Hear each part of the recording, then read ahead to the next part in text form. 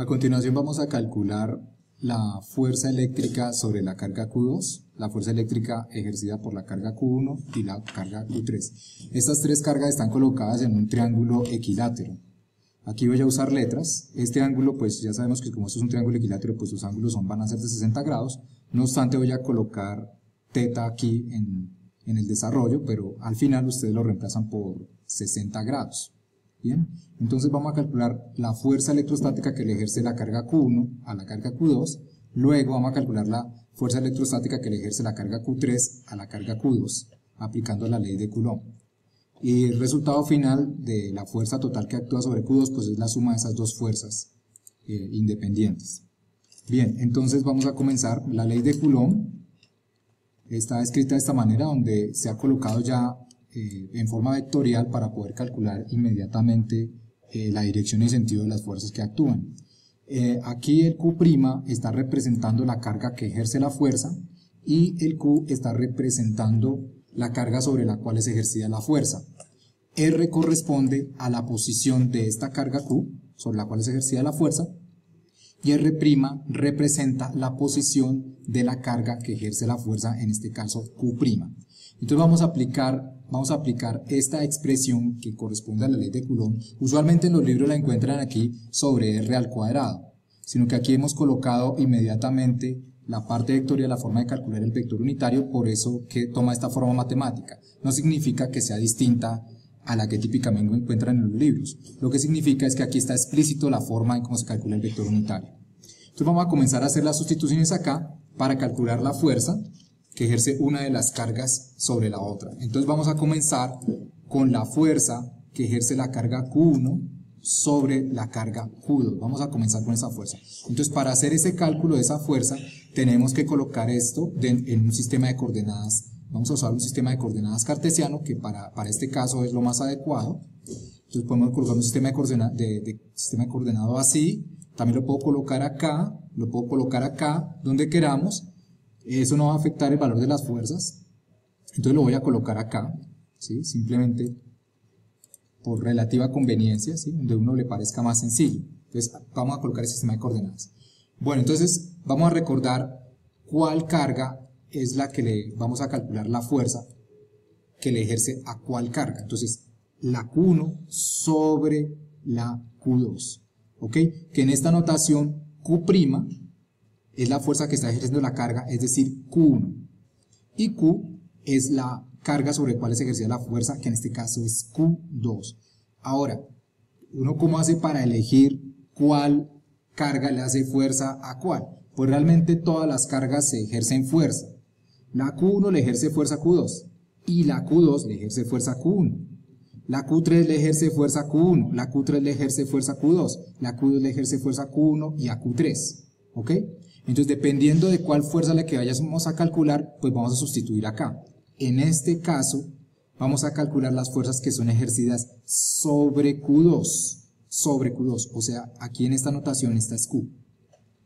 Y Q1 va a ser la primera fuerza y el Q2 y el Q3 acá va a ser para la segunda fuerza. Entonces va a comenzar a hacer la, la sustitución.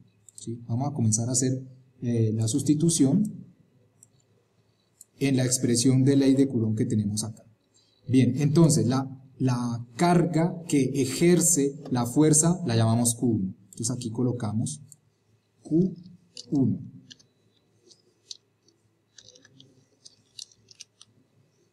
Q1 es la carga que está ejerciendo la fuerza. Es la que hace las veces de Q'. Esta notación eh, la tengo es para acordarme de cuál carga es la que le hace fuerza a qué carga. Bien, la segunda, la segunda sería sobre la cual está actuando la fuerza que es Q2. Entonces está actuando sobre Q2. Aquí esto iría Q2.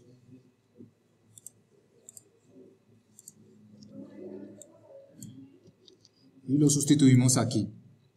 Bien, ahora sustituyamos los vectores posición. Este R indica la posición de la carga sobre la cual es ejercida la fuerza, o sea, la posición en este caso de Q2, la posición de Q2. Entonces la posición de Q2 la podemos determinar usando este ángulo y esta longitud. ¿Cómo se hace eso? pues con relaciones trigonométricas. Es, muy sencillo, vamos, vamos a hacerlo aquí, a colocar aquí las componentes cartesianas. Miren, esta sería la, la coordenada y, sería de acá a acá. Esto que está aquí, la coordenada y de la carga Q2, y la, y la coordenada x sería así. Y calculamos esas dos. Este ángulo que aparece acá es adyacente a este lado. Es adyacente a este lado. Es decir, que esta longitud que aparece acá la obtenemos muy fácilmente simplemente multiplicando la hipotenusa por el coseno del ángulo y obtengo el lado adyacente. ¿Ok? Y esta componente de acá la llamamos simplemente multiplicando la hipotenusa que es L por el seno del ángulo.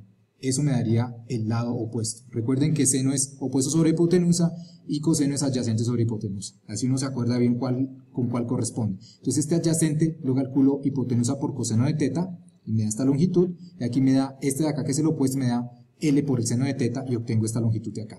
Por lo tanto, el vector que indica la posición en donde está ubicada la carga Q2 sobre la cual se realiza la fuerza, se ejerce la fuerza, entonces lo puedo escribir así. L coseno de teta, L coseno de teta me da la componente horizontal. Esa componente horizontal la indicamos con el vector unitario y, así se llama ese vector unitario, que es un vector que apunta hacia el eje, hacia el eje positivo de las X, apunta hacia derecha, en esta misma dirección, apunta el Y. Ahora la componente Y. La componente Y la podemos escribir de la siguiente manera. Como seno en dirección J. En dirección J. Bien, esto corresponde a la posición de la carga Q2 sobre la cual es ejercida la fuerza. L coseno teta, L seno teta, componentes X y Y. Bien, ahora voy a escribir las componentes de eh, la carga que ejerce la fuerza. En este caso la carga que ejerce la, fuerza es Q1. Entonces Q1 ¿dónde está ubicada? Q1 está ubicada en el origen.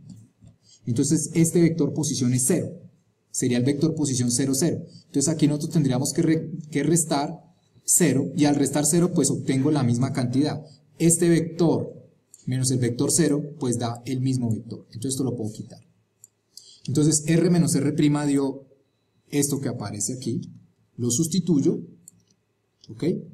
Y ahora lo que vamos a hacer es calcular lo que aparece aquí en el denominador con cuidado, ahí es uno susceptible de cometer errores en ese cálculo, entonces vamos a hacerlo con cuidado. Entonces, para calcular la norma del vector que se hace, cada componente la elevo al cuadrado, entonces aquí estoy colocando la componente x, la elevo al cuadrado, aquí está al cuadrado, más, y ahora tomo la, componente y, y la elevo al cuadrado, aquí me falta un paréntesis, voy a colocarlo, al cuadrado, eso es eh, cada una de estas componentes al cuadrado, ahora raíz cuadrada para calcular la norma, raíz cuadrada, y eso sería esta parte de acá, y ahora elevado al cubo, entonces elevo la norma que es esto al cubo, ¿ok? La elevo al cubo. Ahora voy a hacer un procedimiento de simplificación el procedimiento de simplificación entonces da lo siguiente.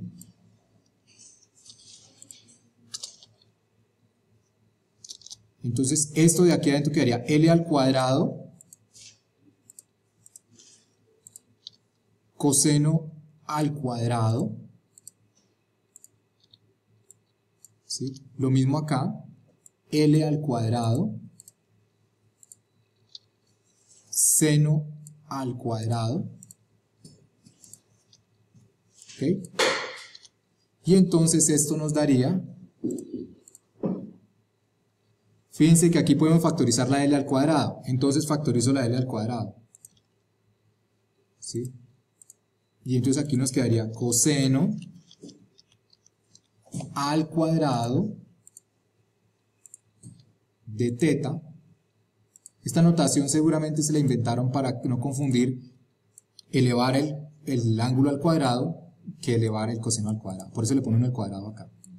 Ahora, más seno, más seno, y esto elevado al cubo. Estoy simplemente siguiendo el, procedimiento allí de cálculo de simplificación. El resultado de esto quedaría, pues tengo coseno cuadrado más seno cuadrado de teta, eso se llama la identidad fundamental, es una identidad pitagórica, es como si es, lo que obtiene uno de un triángulo de radio de hipotenusa 1, entonces esto da 1, y L al cuadrado, raíz cuadrada, pues da L, ¿sí? Entonces eso daría simplemente L, recuerden esto da 1 por L al cuadrado nos daría L al cuadrado, raíz cuadrada de L al cuadrado da L, y ahora eso elevado al cubo. Entonces el denominador finalmente da L al cubo y nos queda bastante simplificado. Entonces aquí lo que voy a hacer es sustituir en esta expresión de aquí. Entonces nos dio L al cubo el denominador.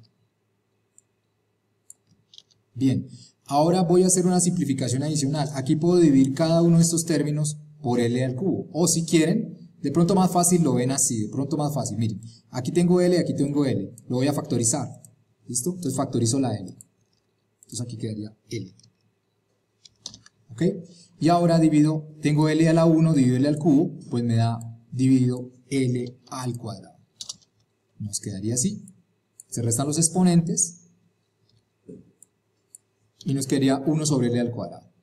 Esta sería la fuerza. Esta sería la fuerza que ejerce Q1 sobre Q2, que también la puedo escribir de la siguiente manera. Lo puedo separar en componentes. Mírenlo.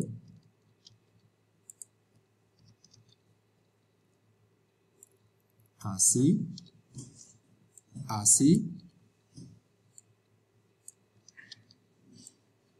Este paréntesis sobra. Lo mismo acá.